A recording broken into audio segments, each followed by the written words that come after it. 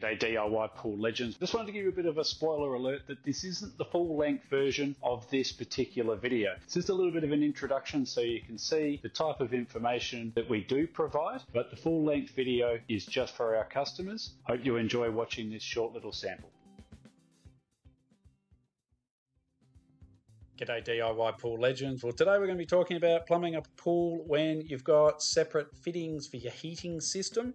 And this is the deep end pool wall, and you can see the two safety suctions sitting there. Now, the reason why they're called safety suctions is if a little person gets stuck onto one of the fittings, all the suction pressure shifts to the other, and the little person can swim to safety. Now, this is the water source for the pump that's separate to your filtration. So you're running a circuit that is separate for your heating to your filtration. Now the important part with this is the fittings have to be teed together behind the pool wall and then you run a single line back to the pump. And that's to make sure that that safety feature works as intended. So with this pool, the safety suction is mounted on one side of the pool and with the other in the middle. Often they're going to be in the middle of the deep end pool wall and they're going to be 900 mil apart center to center. But we thought we'd show you this one because there's a couple of extra steps with it being off to the side.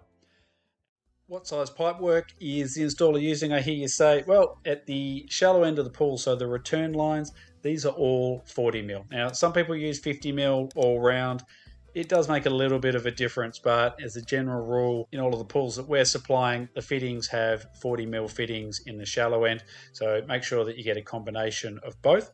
Now, as you can see here, the heating return line's all sorted. So the last part is to tee together the filtration return lines. Now you're going to tee them together for exactly the same reason as the safety suction. Well, there you have it. Just a little sample of the video that we provide. We know from our customers all over the country that these videos make a huge difference to putting the pool in and enjoying the process and getting a fantastic outcome with your DIY pool.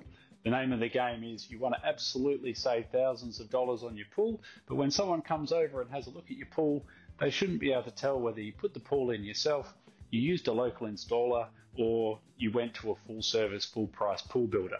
And that's what these videos and all of our supporting documentation is all about. If you'd like to learn more, you can get in touch with us through the website and talk to the team.